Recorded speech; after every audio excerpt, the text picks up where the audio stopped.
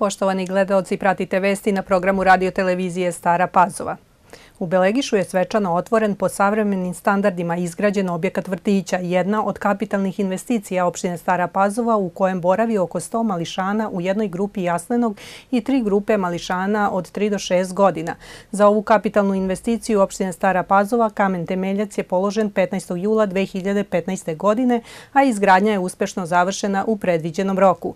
Investicija je realizovana emisijom municipalnih obveznica opštine Stara Pazova, a ukupna vrednost za realizaciju realizaciju svih radova iznosila je preko 44 miliona dinara sa PDV-om. Nakon presecanja vrpce, predsjednik opštine Đorđe Radinović je zajedno sa Igorom Mirovićem, svojim najbližim saradnicima, predstavnicima lokalne samouprave opštinskih javnih preduzeća i gostiju, pošao u obilazak novog objekta gde su ga na samom ulasku dočekala brojna deca iz vrtića koja su prisutne pozdravila uz prigodnu pesmicu i kratak program. Srbiji pre nekoliko godina niko ni paru ne bi dao, ali je uspela da se uzdigne, poručio je u Subotici mađarski premijer Viktor Orban. Premijer Aleksandar Vučić zahvalio je na podršci Budnipešte, navodeći da ta zemlja ničim ne ucenjuje Srbiju. Sa Mađarskom ćemo da gradimo najbolje u budućnosti. Hvala Viktore na podršci Srbiji u teškim trenucima, ne samo u podršci u poplavama, preduzećima na putu ka Evropskoj uniji, jer Mađarska nas ničim ne ucenjuje i ne ograničava i to Srbija poštuje i ceni. Prave prijatelje umemo da zapamtimo, rekao je Vučić koji će sutra prisustvovati svečanom postavljanju kamena temeljca IKEA robne kuće u Srbiji.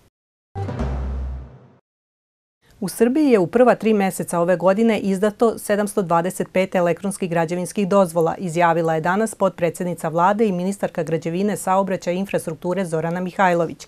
Ističući da se elektronske građevinske dozvole izdaju u predviđenom roku od 28 dana, Mihajlović je podsjetila da je njihovo izdavanje počelo 1. januara i da je to jedna od najvažnijih reformi koja je sprovedena u Srbiji. Ali to nije dovoljno, treba da nastavimo sa tom reformom, naglasila je ona, ističući da je taj sistem sistem počeo da funkcioniše, ali da ga treba dosledno primjenjivati.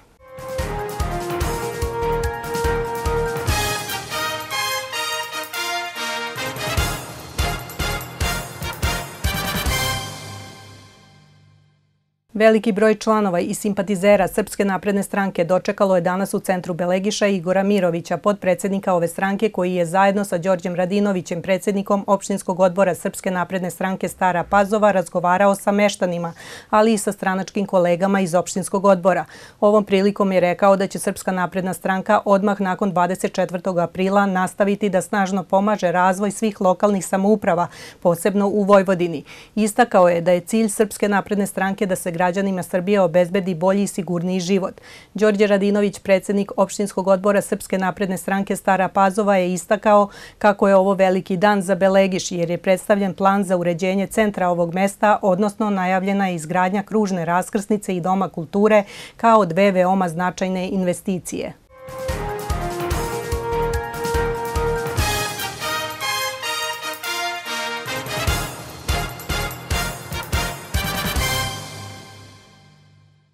Izborna komisija opštine Stara Pazova proglasila je deset izbornih lista za izbor odbornika u Skupštinu opštine. U petak u ponoć istekao je rok i za izmene u biračkom spisku, pa je konačan broj birača u Staropazovačkoj opštini 55.860. Prva je proglašena izborna lista Srbija pobeđuje Aleksandar Vučić, druga izborna lista Demokratska stranka, treća Ivica Dačić, Socijalistička partija Srbije, četvrta izborna lista Dveri, Demokratska stranka Srbije, peta Goran Jović uz Pazovački pokret do pobede, Socijaldemokratska stranka, Liberalno-demokratska partija, Liga socijaldemokrata Vojvodine. Šesta izborna lista koja je proglašena jeste grupa građana Izbor za našu opštinu. Pod rednim brojem 7 izborna lista dr. Vojislav Šešelj, Srpska radikalna stranka. Osma je proglašena izborna lista Probudimo Pazovu Miloš Crnomarković, Narodni pokret Drina, Dinara, Dunav, Ruska stranka. Deveta Zelena stranka, a juče u 14 časova nakon otklanjanja nedostataka proglašena je i deseta izborna lista Dragan Marković Palma Jedinstvena Srbija.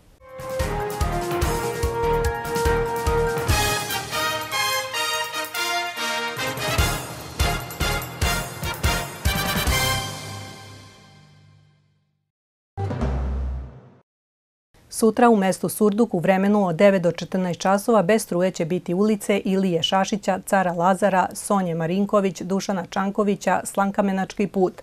Navedene ulice se napajaju iz trafostanica Cara Lazara, Vodovod, Sonje Marinković, Maršala Tita 1, Maršala Tita 2, Slankamenački put i Sportski centar Bazeni. U slučaju loših vremenskih prilika radovi će biti odloženi. U okviru redovnih aktivnosti Net Patrole Republike Srbije u osnovnoj školi Simeona Ranicki održana je tribina za roditelje i zaposlene u vaspitno-obrazovnim institucijama na temu elektronskog nasilja. Biljana Kikić-Grujić, kriminolog iz Centra za prevenciju devijantnog ponašanja kod mladi, govorila je o nasilju i zlostavljanju dece putem novih informacijonih i komunikacijonih tehnologija, koje se prvenstveno odnosi na pedofiliju, odnosno seksualnu zloupotrebu dece putem interneta, zloupotrebu društvenih mreža ličnih podataka. Cilj predavanja je upoznavanje roditelja o mogućim aktivnostima njihove dece na internetu kako bi mogli da primete i prepoznaju problem ukoliko ga deca imaju na društvenim mrežama.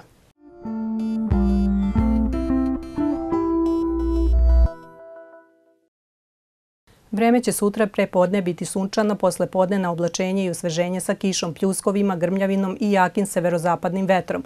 Minimalna temperatura je 11. najviša dnevna, 23 stepena Celzijusa. Pratili ste vesti na programu radio televizije Stara Pazova. Hvala vam na pažnji. Ostanite uz naš program.